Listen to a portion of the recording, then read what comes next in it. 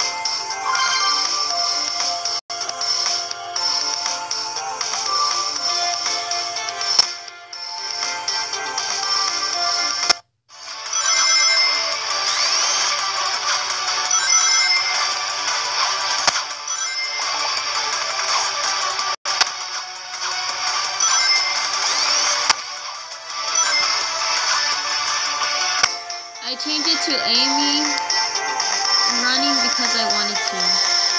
And plus, Amy's like one of my favorite characters, so yeah.